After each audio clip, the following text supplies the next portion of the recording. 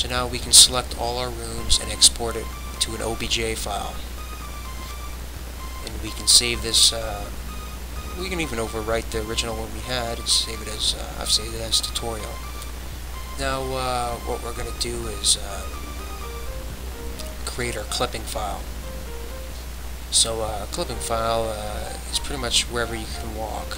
Selects the polygons of uh, walkable surfaces, so we're just going to delete everything that uh, we don't want uh, to be able to walk on. So in this map it's actually extremely easy. Uh, there's not really all these different tiered uh, height differences in the polygons, so uh, just quickly select them all and delete them all.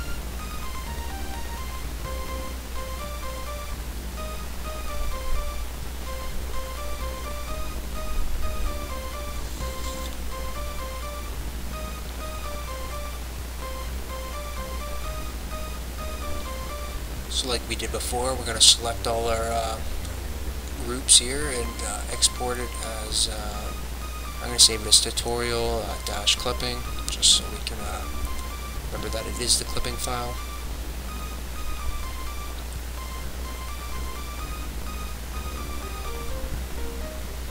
So now the problem is uh, GoldenEye Setup Editor doesn't like the object file that, uh, the OBJ file that XSI exports, so uh, we need to use the help of Blender. We're going to import a group, and um, just do a quick, we can look around and see that our level imported properly. We're just going to export it, and you can write right over top of uh, the original file.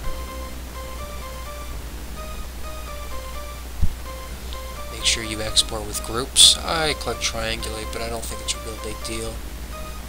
Um, we can delete that and do the same for the clipping. Import the OBJ. Now it's uh, important when you import that uh, you separate objects by group and make sure the clamp scale is set to zero. Again, we can see that imported fine, and then we'll export it again, and we'll overwrite the file that we used before. Now, uh, now these OBJ files should be um, readable by the setup editor. So we're going to start up a new file. Uh, I use DAM. I set the scale to 1, which is usually a good uh, rough estimate when importing um, from Hammer. We're going to uh, convert an OBJ file to uh, GoldenEye level. We're going to select our uh, OBJ file, our main one. We're going to export uh, background file, use our room positions text, and just save it up. Now you might not see the level at first, but you'll have to move around, but uh, yeah, there we go. There's our level in, so now we're going to have to import our clipping. So edit clipping mode, and uh, import from OBJ, and select our clip file. Now if you click the view clipping, we can see, uh, it's actually easy to see with level off, we can see our clipping file has imported properly. So now, uh, sometimes there's a few problems, so I'm going to select them all and uh, stand convert and redo clipping connections.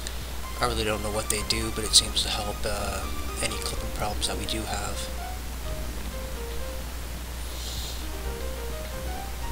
So in edit object mode, I'm going to add a start, uh, just so it doesn't really complain when we save.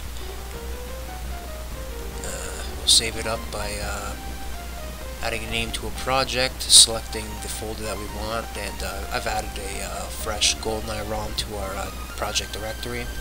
And now we can import it or uh, inject the project into the ROM and uh, run it. And as you can see, we have a few problems. Although the clipping file seems to be working properly, uh, all we can display is the first room.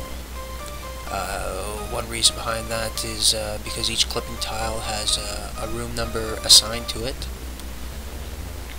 Another thing we've seen with the map is that it seemed a little too big. So what I'm going to do is import uh, a character, actually a little small by the looks of uh, that. So I use a character to uh, just kind of judge where we're at.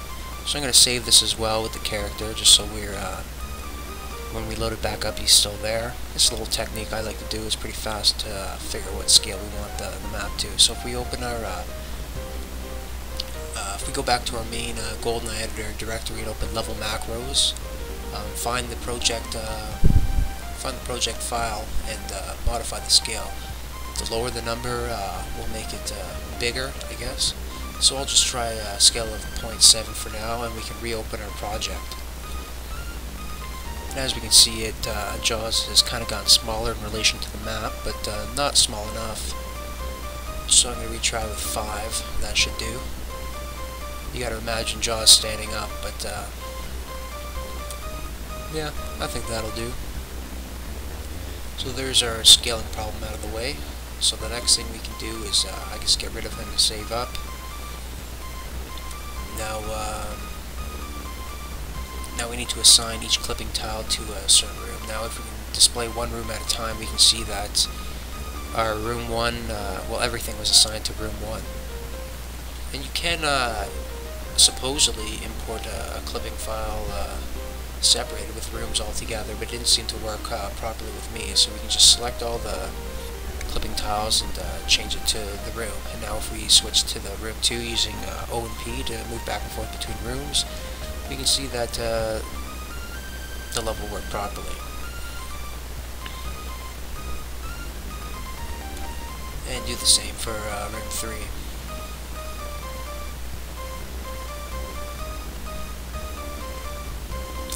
Just skip ahead here because uh, that takes some time.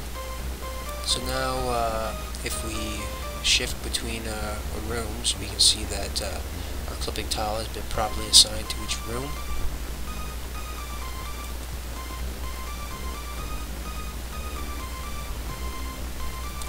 So the uh, next thing to do is add portals. So if uh, first we're to have to delete all the portals, they haven't been, since they're imported with the background file, not the setup file, uh, they're still, uh,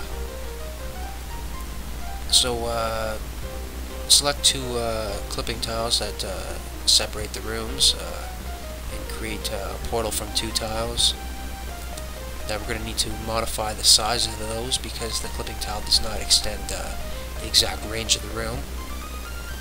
And sometimes, like I just did there, you'll have to check which which side is used by which clipping tile. Sometimes they don't come out exactly the way you want it. So if you load your map and you see you can't see through a file, then uh, just double check those and flip them around. Sometimes they get flipped all ass backwards. So uh, now we can run our map, save it up, inject it, um, and we can see uh, that our level looks fine. We can see from each room and everything works properly. Um, looks like we have a clipping problem there, but uh, there's more tutorials on the site on how to fix those. That's not a big deal. So now we're going to uh, create our rails into uh, so you can see that uh, we loaded two indice files and one's empty and one's full. So uh, to start off uh, our second index, file or index file or whatever you want to call it, we're going to have to add these first three hex digits. You can just kind of copy and paste them in. Now uh, important to notice that the last two of the B9 command we're going to have to change to a 49D8